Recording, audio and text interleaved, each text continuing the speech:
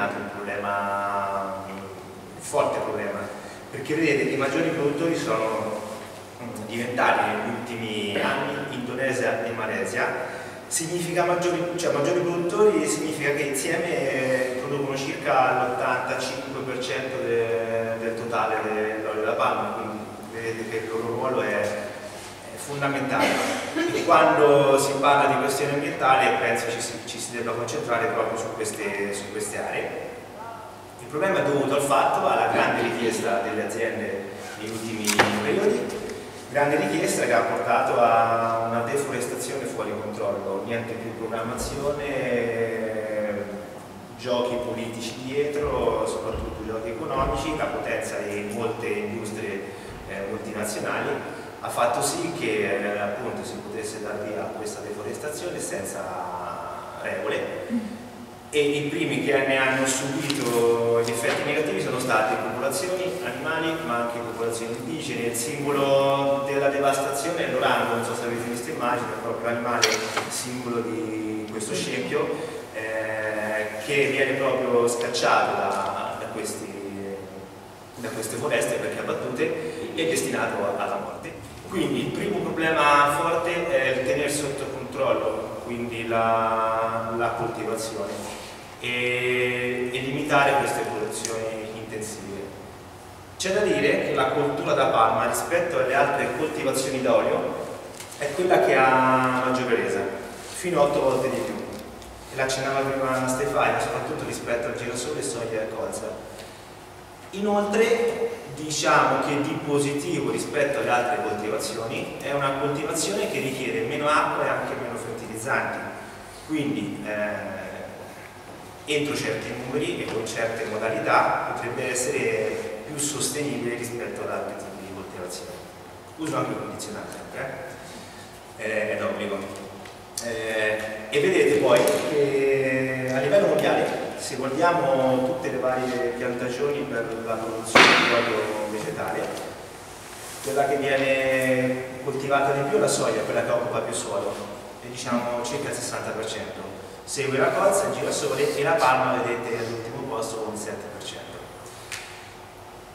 Una cosa, anche leggendo questi dati, quando lavoravo, insomma, preparavo la presentazione, mi sono chiesto, adesso c'è molto scalpore sulla palma d'olio, giustamente, sulla deforestazione, ma nei vari paesi in cui ci sono coltivazioni intensive di soia, colza eh, e anche girasole, sicuramente sono stati effettuati gli stessi procedimenti, cioè c'è stato un disboscamento eh, così intensivo, ma non se ne è parlato praticamente mai, eh, consentendo l'arricchimento di chi era, aveva l'interesse ad arricchirsi e provocando danni alle popolazioni, all'ambiente e agli animali.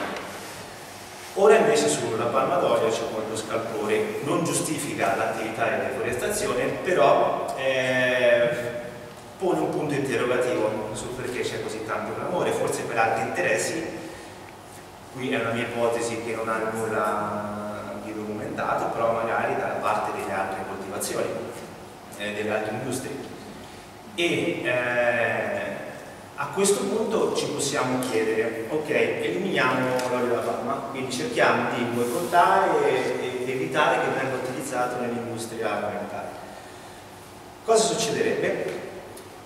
Se dovessimo eliminare l'olio di palma aumenterebbe sicuramente colture perché comunque sia che la quantità di olio è, è importante in questo tipo di eh, situazione attuale in cui l'attività dell'industria alimentare è molto forte, la produzione è molto quindi aumenterebbero le altre colture che però sarebbero meno produttive, quindi per soddisfare quel 7% di palma d'olio moltiplicate per 8 dovremmo avere, perché eh, sono 8 volte meno produttive, dovremmo avere un 56% di territorio da sfruttare per poter produrre quella stessa cosa.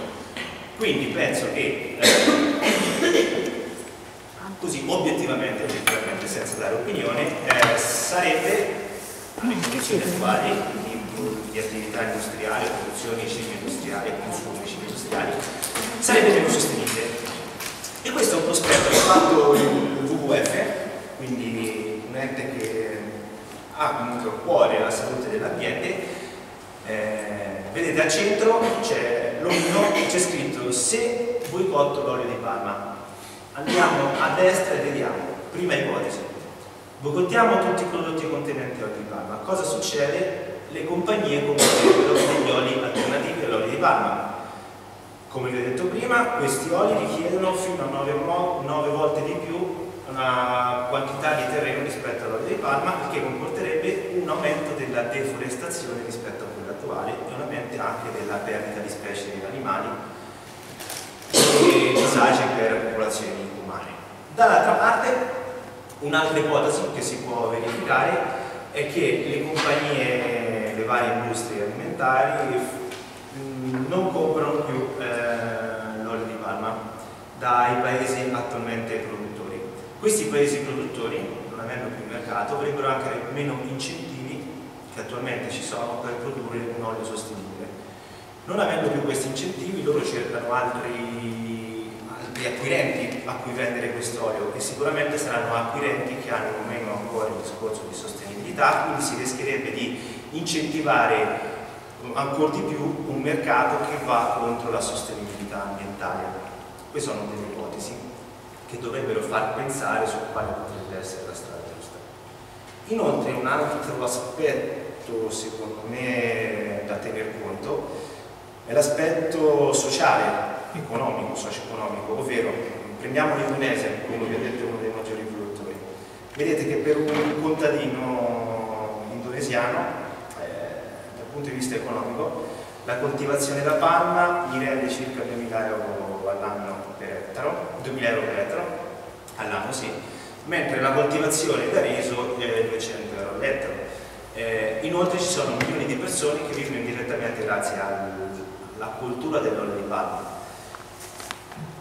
Io non cerco di eh, promuovere cioè l'utilizzo dell'olio di palma e la cultura, però eh, cerco di far capire che la soluzione, secondo me, ma poi essendo avanti vedremo, non sta nel boicottare ma nel, cambiare l'atteggiamento, nel farsi una cultura, come diceva Stefania, diventare consumatori eh, consapevoli, il che poi può stimolare la produzione di prodotti che possano essere più sostenibili.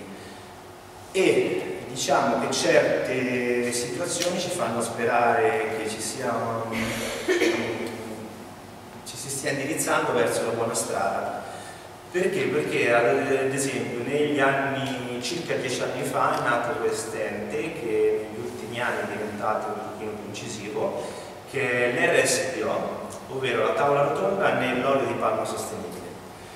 Eh, questa organizzazione cosa fa? Eh, praticamente promuove eh, le pratiche sostenibili per la coltivazione di olio di palma, quindi eh, promuove, certifica e eh, fa distribuire quell'olio di palma che viene eh, coltivato secondo certi criteri, criteri che cerchino di rispettare appunto l'ambiente e quindi che limitino, che limitino molto la deforestazione.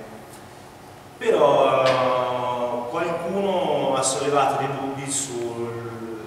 sull'efficacia, sull'onestà diciamo, di questo RSPO, soprattutto Greenpeace e altre associazioni.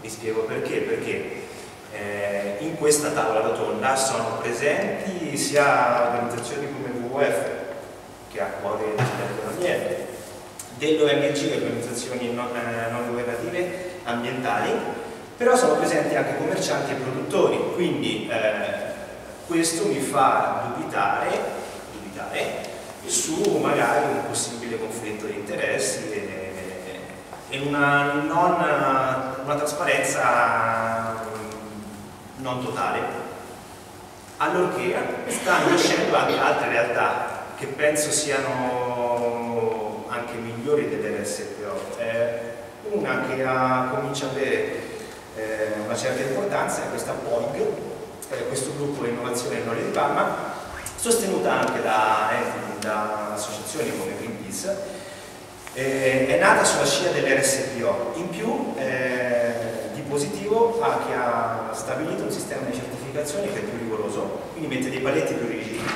E uno dei paletti più importanti è che mentre per l'RSPO è prevista una certa quantità di deforestazione, eh, secondo i loro criteri la deforestazione deve essere nulla, zero, quindi si deve andare a coltivare in quelle aree che sono dismesse, che non sono utilizzate, che ci sono magari altre coltivazioni, sostituire delle altre coltivazioni da olio, ma evitare al 100% la deforestazione. Quindi diciamo che negli ultimi anni si stanno sensibilizzando molto le popolazioni, anche le società produttrici, perché hanno visto che comunque sia, eh, si è suscitato molto scalpore e i consumatori tendono a, a comprare con meno facilità i prodotti contenenti olio di palma. Questo ha fatto sì appunto che, si, che, che, che siano nati degli enti così importanti e ci sono anche altre realtà che poi a seguire vi dirà Stefania molto interessanti. L'ultima cosa sulla questione ambientale che è giusto per dare panorama della situazione italiana, diciamo che siamo rispetto ad altri paesi un pochino più virtuosi quanto riguarda l'olio di palma e vi parlo di produzione italiana, perché dal punto di vista alimentare circa un 10% dell'olio di palma che viene importato in Italia viene utilizzato per questo scopo, tutto il resto viene utilizzato per altri destini, come diceva Stefania, combustibile al primo posto, industria cosmetica e, e quant'altro. Quindi, eh, e questo rappresenta lo 0,3% mondiale, quindi diciamo che come consumatori italiani che consumano prodotti italiani abbiamo un peso minore rispetto ad altre realtà. Inoltre, secondo la DEVI, che è l'associazione dei mm, pasticceria industriale, di questo 11%, circa il 50% viene da, eh, dell'olio panno utilizzato è certificato il che insomma ci dà un ci rasserena un di più, ci fa stare un po' più tranquilli, anche per quanto riguarda il discorso, il discorso ambientale, esattamente. E quindi questo è stato un piccolo excursus, diciamo, nella nutrizionistica abbiamo più l'aspetto ovviamente nutrizionale, però il ruolo del nutrizionista è anche quello di rispettare sia la persona sia se stessi, gli altri e anche l'ambiente, scegliere con eh, attenzione tutti i vari prodotti di cui ci nutriamo, perché la qualità è importante non solo per la salute nostra ma anche per l'ambiente, per questo abbiamo voluto affrontare anche con umiltà cercando di dare un'informazione più oggettiva possibile l'aspetto ambientale. La mia parte è finita, adesso vi lascio a Stefania per la parte finale.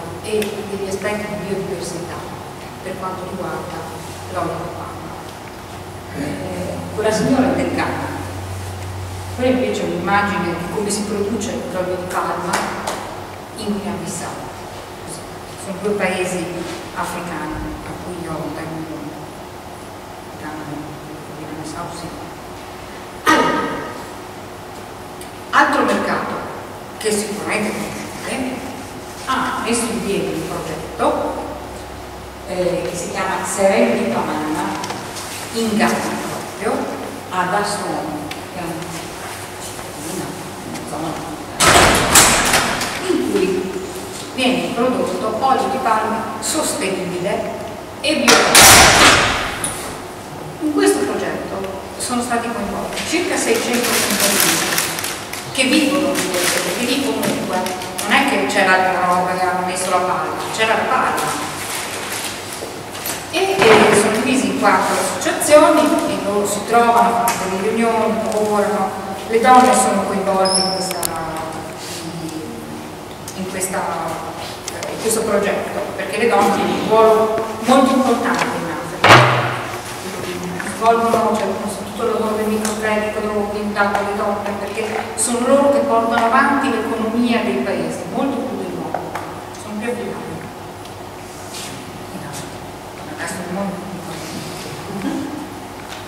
E con, con, i terreni si utilizzano? Si utilizzano terreni in cui le palme crescevano spontaneamente e, e con i terreni vengono incentivati e differenziati la produzione, cioè modo da non fare colture intensive. Si utilizza concime organico che deriva dal compostaggio e quindi aumenta la produttività e arricchisce il suolo.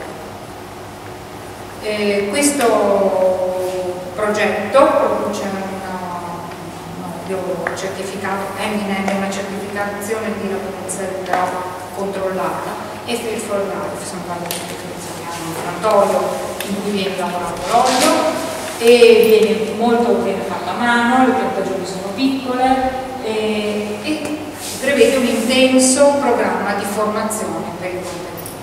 Quindi è un progetto sostenibile. Altro mercato utilizza in parte questo olio. Chiaramente per problemi tecnici, se voi andate sul sito di altro mercato, trovate comunque anche gli aggiornamenti su quello che stanno facendo nei loro prodotti nei confronti di pane. I sostituti del pane li hanno fatti senza olio di palma. Gli altri prodotti eh, che, che, sono senza olio di palma di altro mercato sono i biscotti, eh, e alcuni prodotti dell'economia carceraria che è un altro progetto che loro stanno curando.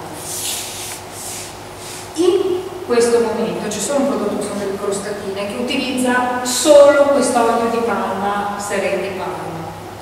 Eh, ma i problemi sono di, di, di, di forma, perché questo olio è più grezzo, non è così raffinato e bifrazionato come quello eh, quello utilizzato in questa pasticcera di un certo tipo. Io non sono un pasticcere, quindi non so bene come si lavora. Ecco.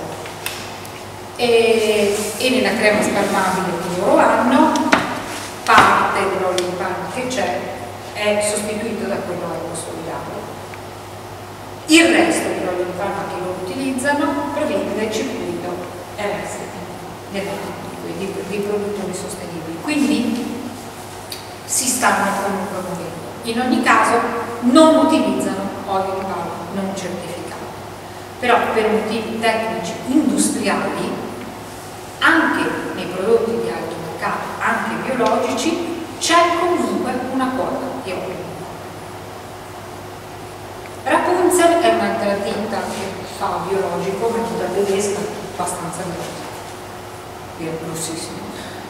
Eh, molto attenta ai temi ambientali, eh, è un esempio, non sono tante, eh, però altro mercato, appunto è un'altra vita, che ho, io ho fatto delle ricerche, questo ho trovato, probabilmente non sono riuscita a trovare tutto quello che c'è, però eh, loro stanno facendo comunque, già dal 92 usavano un olio di palma biologico proveniente dalla Colombia, gli ho scritto alla ditta Davo Organica, una grossa che fa olio di palma e adesso però sta portando avanti questi progetti, quello sarebbe Palma, quindi altro mercato da l'olio di palma prodotto da Sene di Palma ha iniziato i suoi prodotti. E quest'altro progetto Smeraldas in Ecuador. Eh, questo è il progetto dell'Ecuador, Sene di Palma abbiamo già, già visto, anche in questo caso abbiamo coltivatori indipendenti, piccole, piccole, piccole produzioni, impianto moderno, eh, concimazione naturale, formazione anche questo è certificato. Ci sono delle ci sono state delle. Nel 2009 c'è stata un'inchiesta giornalistica e è venuto fuori che la DAO, questa azienda che faceva olio di palma biologico in Colombia e in Centro America, avrebbe, con l'aiuto soprattutto della, dello Stato, della polizia, della Colombia, così, avrebbe fatto eh, evacuare 123 famiglie in contadini e avrebbe fatto una coltivazione intensiva di, di palma. Questo è quello che risulta eh, dalla documentazione eh, sia della, eh, della, della, della, società di certificazione svizzera, sia qui su Terra Nuova c'era questo articolo. Questo è una questione che è sorta nel 2011. Io ho cercato per capire com'è andata a finire. Non sono riuscita a trovarlo. Quello che sono riuscita a trovarlo è che Rapunzel, che utilizzava questo di palma, si sta spostando verso l'olio di palma biologico proveniente 100% dal commercio ecosolidale. Ed è questa la via che tutte le aziende che fanno biologico dovrebbero perseguire. Cioè, premesso che nell'industria alimentare sembra sia molto difficile la sostituzione totale dell'olio con altri oli, sia per motivi proprio di lavorazione, sia per motivi come abbiamo visto con Danilo anche di uso del territorio cioè, l'industria c'è. Attualmente c'è, non è che abbiamo delle grosse possibilità di cambiare questo stato. Almeno quello che viene utilizzato eh, che sia sostenibile e in questo caso loro si stanno muovendo in questo senso. Quindi senza disboscamento, integrazione delle strutture presenti a livello locale rispetto dei diritti territoriali, osservanza delle norme ambientali, questo è un decalogo che loro si sono dati. E quindi questa è la via che le aziende o appunto entità come il commercio eco così dovrebbero perseguire e stanno già perseguendo perché altro mercato sono di commercio ecosolidale, appunto biologico, stanno perseguendo. E forse è al momento l'unica via perseguibile, a mio avviso, perché non, non, non vedo in questo momento delle altre sostituire dove si può, e scegliere dove non si può. Noi come consumatori possiamo decidere quando, come, se, prima. Voglio chiudere in bellezza, c'è un qualcosa di dispensivo. Eh, vi voglio parlare della Guinea-Bissau. Guinea-Bissau è un piccolo stato che sta sotto il Senegal, uno stato poverissimo tra i più poveri del mondo, che però ha una bella delle risaie, hanno un sistema di dighe per le risaie, producono sale, saline, producono olio da palma, olio di palma, eh, selvatica. Eh, la, tipologia di palma che usa è una tipologia dura, in perfetta armonia con l'ambiente per la tutela delle foreste e della cultura locale. Lì di natura hanno le foreste da palma, si ubriacano con il palma, che è una qualità di palma. Cioè, quindi proprio lo usano quotidianamente loro per cucinare, questo e gli piace. Questo olio di palma è presidio sul food dal 2011, cioè una cooperativa di contadini del nord del paese ha portato avanti questa richiesta ed è diventato presidio sul food, quindi è tutelato. In creola, che è la lingua maggiormente parlata in Guinea-Bissau, sostitutiva di Bavanda, i linguaggi locali, ma il creolo è la lingua, è un creolo portoghese perché era una colonia portoghese. Lo chiamano siti, io non so pronunciare, però se no, lo leggo così non si chiama, non lo leggo così. La raccolta la fanno loro, la trasformazione la fanno loro. È una trasformazione lunga, laboriosa, poi raccolto, schiacciato, poi filtrato, poi bollito, poi eh, separato, poi bollito, insomma, viene fuori con quella cosa, quella roba rossa lì è un olio denso, aranciato, profumo di pomodoro, frutta e spezie. Per loro è una fonte di antiossidanti e di vitamine che magari non avrebbero altrimenti. La, non è che mangiano la carne come la mangiamo noi, non è che mangiano il formaggio come lo mangiamo noi, cioè la quantità di grassi saturi che gli dà un è relativa. In più cammino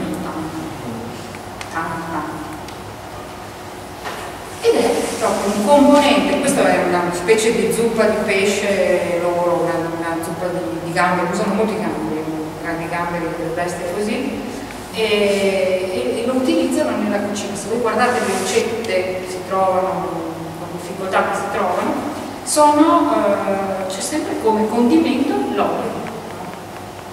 E come stanno a livello cardiovascolare? Faranno altri problemi.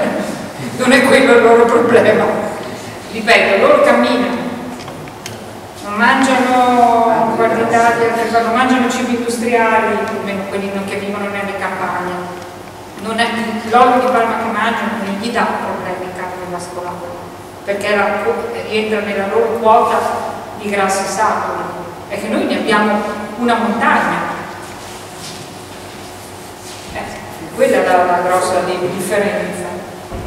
Quindi quest'olio che loro hanno è completamente diverso da quello che noi abbiamo, che invece è una schifezza, che è quello primo lì, eh, deodorato, desbiancato, che è quel cubetto lì, e invece era così. E quest'olio, biancato, raffinato, frazionato, sta mostrando effettivamente rischi ambientali per la salute. Ma è quello